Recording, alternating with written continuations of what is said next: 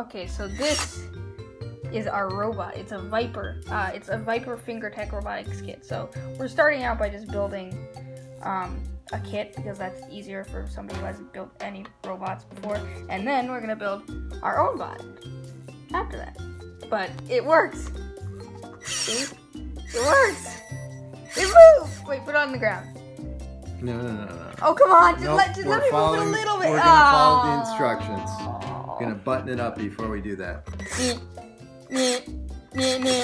Okay. So we're putting the top on now, and we're gonna do a test drive soon. Well, I wonder what this thing is for.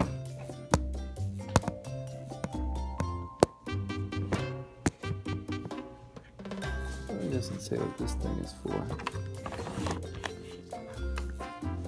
Okay, let's just. Okay, So wait, it- but like there's something sticking out. Oh, we need to put it the front arm on. Oh yeah. Why don't we put the front arm first? I think that'll be easier. So, do we want this the front arm or it's gotta stick down a little bit?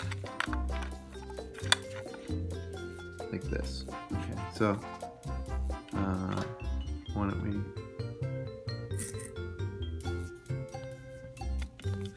So the top is on now. Oh, the front's on. Oh, the front's on. Sorry. So now we just need to get the top on, and then it's kind of done. Okay, so this is the finishing touches, and then it's ready, and we're gonna do a drive test probably.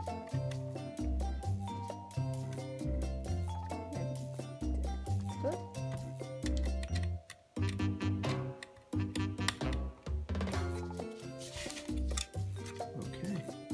Wow. So that's that's the robot.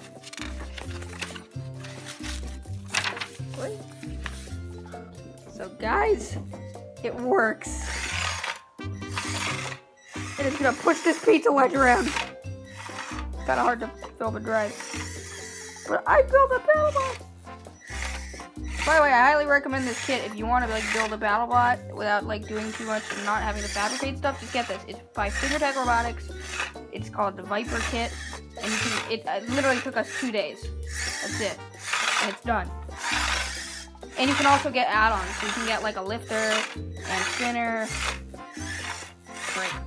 And you can get also better armor for it, and it works. Okay, so I'm testing out the bot against some uh, the Hexbug Minotaur to see how it does. Good lord. Oh, definitely kind of.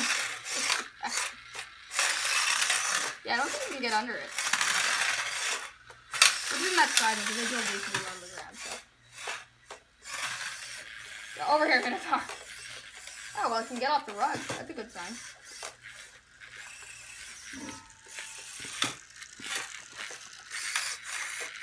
Haha, I win! Ten! Nine, Minotaur's not moving! Eight! Seven, wait, he hasn't been moving this whole time! Oh, who cares? Okay, so the final step before I get the lifter, which I'll update you on when that comes, because it could be a while, was just putting the armor on it, yes. I'm gonna call it Buddy Bot. I sharpied this and just put some aluminum foil on top of it. Looks pretty cool, huh? And I also put a little, like, lance on it, so it's basically a thwack bot now. Uh, if you're wondering what the aluminum foil was, I was testing the aluminum foil up against uh, Witch Doctor. Don't worry, that's not the actual armor, that's just the aluminum foil. It's just, you know, just cosmetic. But yeah, it's pretty cool. Um, I think the last clip will be just, you know, it thwacking some things. And, um, yeah, it's been a blast to make. It was really easy. Oh, I also put some little, like, funny little wheel guard things on. Not really, like, very effective. Again, just kind of cosmetic. So, yeah. That's, uh... That's pretty much BuddyBot done. Okay, so the last test is to just see him bashing this bot to pieces. Wow. Yes! oh crap, you can't get up there. Come here, witch doctor. Woo! Get down there! And stay down! This lens is a very good addition. Ten, nine, eight, seven, six, five, four, three, two, one. That's a knockout. Oh wait, he's gonna go in for a late hit. Look at that. The sports team got no regard.